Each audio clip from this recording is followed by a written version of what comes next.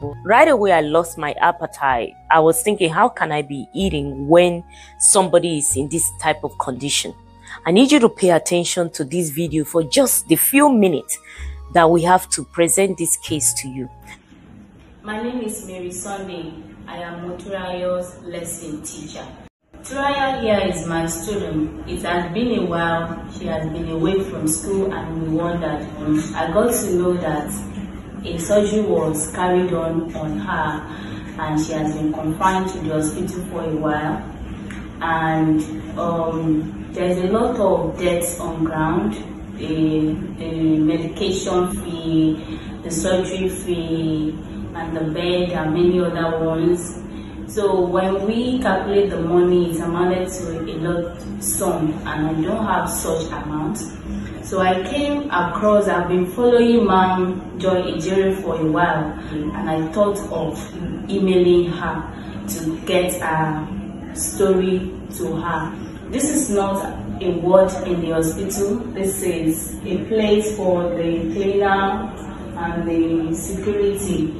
And I learned that people stay here. People that are unable to pay their hospital bill are taken to this place for the time being until they are able to clear the bill. This is where she sleeps. She sleeps on this place with her mom. And I learned that the other people that were here with her have all gone, saying they were able to pay their fee, but she's still here and it has been a while now. I came today to see her and she looks so malnutrition and I feel so sorry for her. Please help Moturayo. Please help her. She needs your help. She said she wants to go back to school. She wants to eat well. She wants to become fine again. She wants to go home. She wants to leave this place. A young 15, 16 years old who was supposed to be in school can be kept as a prisoner and a hospital on the bare floor exposed to danger because she was somewhere that the janitor, the security, whoever, that is where they put her, a young little girl like that. She was not feeding well. I, I don't even want to go into all that because it's so disheartening. Come to the hospital to get material out and we need to pay the necessary bill. So here we have, we want to do that now. Okay. We paid the necessary bill and these are the receipts.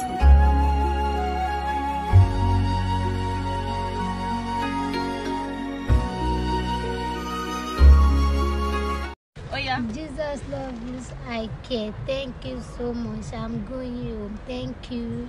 So after clearing Moturayo's hospital bill, we told her teacher to follow her back home and to assess her living condition.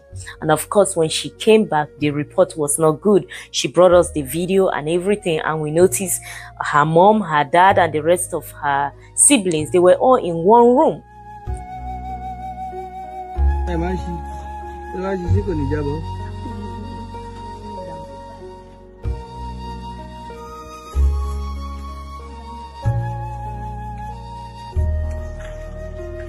There was no privacy. Husband and wife had no privacy, children had no privacy, and they barely had things to eat and all that. So right away, whatever was left in the charity fund, we started building next door next door the roof was open. Uh, it was not a good condition that was livable so we made it livable. Fix up the roof fix up the flooring whatever we could do we did to make it comfortable for the other children to at least have privacy uh, to move next door. And then of course husband and wife can have more privacy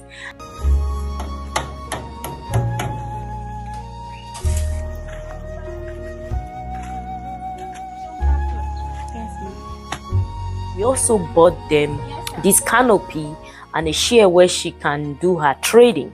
She sells provision for a living. We had no provision because financially the charity could not continue.